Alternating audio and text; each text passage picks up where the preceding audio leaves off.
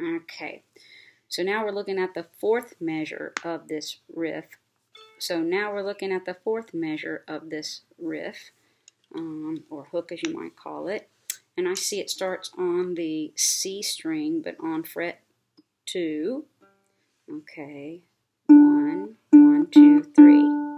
Okay, so one, one, two, three. There are four, uh, you play it on the second fret four times, and um, the rhythm this isn't thing about tab is you really have to know the song to use the tab because if you don't, you're just looking at these numbers and it's there's not a really good way to figure out what the rhythm sounds like. But this particular one goes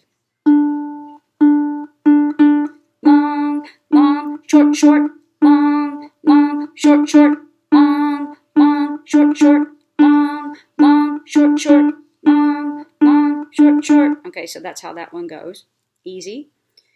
But then you have to move your fingers all the way up to the A string and you have to play two, one, open, and then you go to the next string, which is your E string, and play the third fret or the orange dot.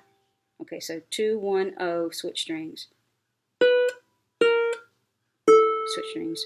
Again, two,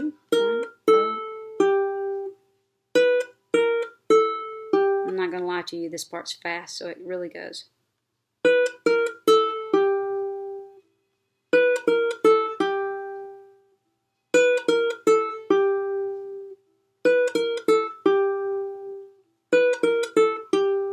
Okay, so that whole measure is two, two, two, two, two, two, one, oh, three.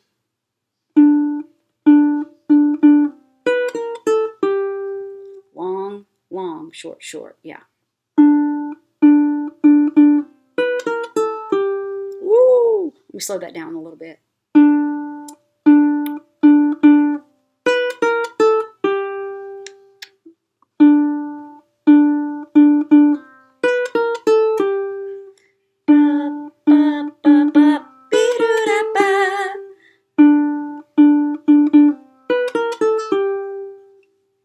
practice on that. Then see if you could put the whole thing together, which is what I'm going to do next. All right, so here we are to put together the entire riff um, hook for Fancy Like. And it should sound like this.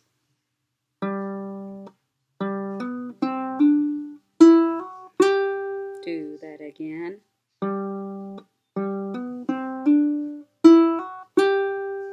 Next section.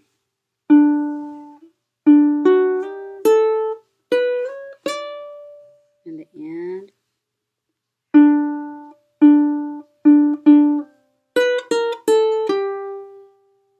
And that's the whole riff.